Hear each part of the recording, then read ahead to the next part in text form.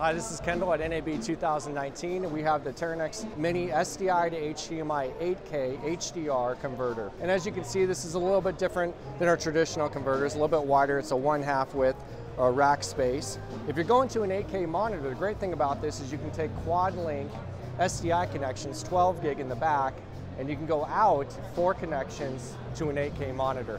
Of course, if you're not going to an 8K monitor or projector, what you can do is you can go out one HDMI, and it's going to automatically do a down conversion for you to an HD or Ultra HD monitor. Another great feature on this converter is you can see here that we have scopes that are built in. So you can do independent, two independent simultaneous scopes there if you want to. And we do a vector scope, waveform, RGB parade, YUV parade you can actually do, do the uh, opacity on these, shrink them down a little bit, and you can move them around the screen wherever you want them to be.